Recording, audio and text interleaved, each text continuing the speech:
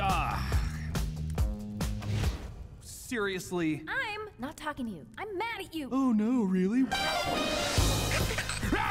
I'm gonna devour this thing.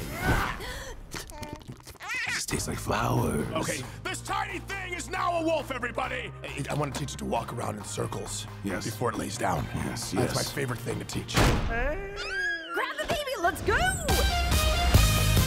You're probably asking yourself how a stork, a girl, and a baby wound up in this situation. Let me go back and start at the beginning of the story. Junior, you know why I built my office entirely out of glass, even though birds can't see glass? I do not.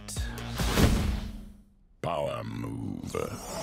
I'm getting out of babies and into package delivery. Our new phones. Cool, cool, cool, cool. Very cool. Monday, it'll all be yours, barring any monumental screw up.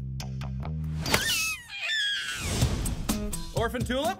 Junior? Oh, uh, a tulip is just fine. Orphan hurts my heart. That's a quail, an emu, there's a chicken, they cannot fly. She's helping us achieve our dreams. This is gonna be great, guys. Tulip? What is that? It's a baby. Storks don't deliver babies anymore. If this baby finds her family, then maybe I can find mine. You'll find your family. You think? For sure.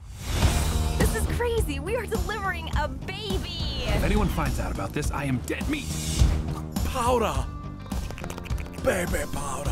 Have you seen a red-headed lady and a stork? I don't know what you're talking about. I saw two that fit that description the other day. No, man, I will not be your friend. Sorry, thought we were vibing.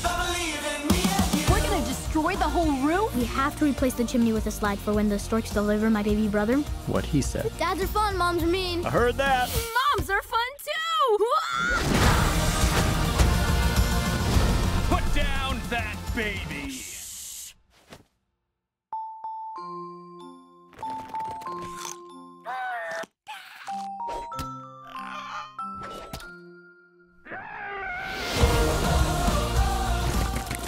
love. I am in love. Are you in love? I'm in love too. I agree, I agree, I agree, I agree.